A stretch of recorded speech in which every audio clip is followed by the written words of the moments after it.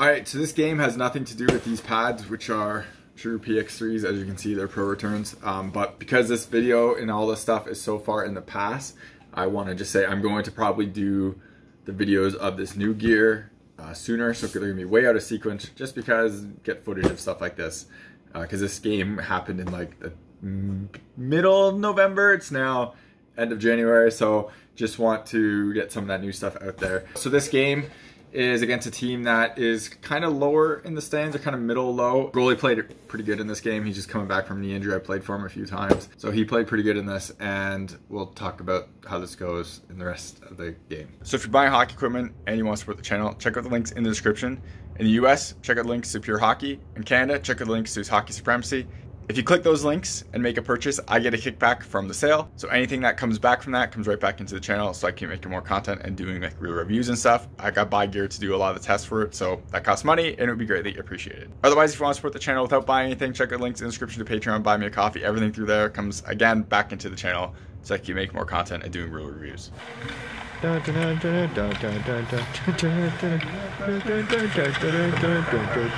Y'all ready for this? Ball, ball, ball.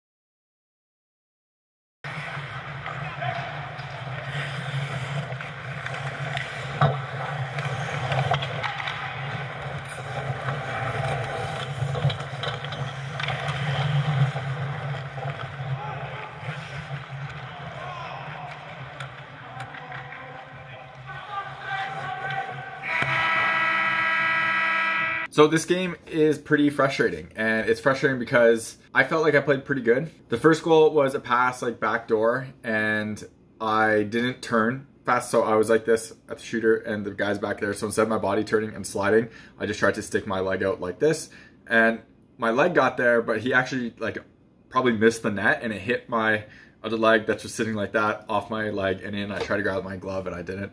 Uh, so it's one of those where it's like a kind of nice play, and I just couldn't get to it in time. Uh, this, the second goal is off a guy that has a really good shot, and he scored on me a bunch this year and last year. He has a like really hard shot, and it's really quick too. And he gets it bar down, and I wasn't square to him.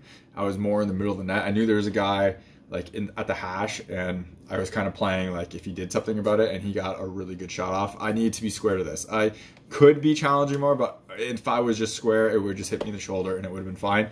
So that's really the play that I should have done and kind of sucks. And then the third goal was a really nice pass from behind the net to a guy wide open. I, is it backdoor when there's like you're it's behind the net i don't know but anyways he was wide open on one side and there's a guy open on the other side and my d was right in the middle and he makes a really nice pass to him and the guy gets it off just like that like standing right on the goal line instant pass i couldn't get over fast enough in time. This is where I'm not flexible enough. Just put my legs like this. I should kind of work on that and try to do that. Because if I was like that and not hugging the post, I might have been able to e more easily go over there. But I thought this guy was going to my glove side because he had support there and he was on that side as well. So that's why I'm hugging that post. So it was a nice play back there to a guy who's wide open, just instantly puts it in. I think it, it might hit me and go in, but he puts it in, so it was a nice goal. And overall, this was like a really disappointing game because of this. We played well and we had goals. We had like a 3-1 lead at one point, but then you see after that, all the two-on-ones, that they almost scored on, and I put those clips in there where they just couldn't finish. I made a couple of really nice save, like leg pad sliding saves. There was just a bunch of plays too where there's two on ones and the guy misses, and they had all the time in the world. We have the opportunity to be really good. It's just we make really bad hockey decision plays. And I know it's beer league, but like these guys take this seriously and they get upset like when they lose and stuff like that. So you just have to use your brain. And so when they make these plays where it's a three-one, there's no you shouldn't bench you shouldn't which the pinching is what is leading to the three on ones and stuff. And so you gotta play differently and they just they don't and it's kind of disappointing and it's just the way it is. You're watching hockeyreviews.ca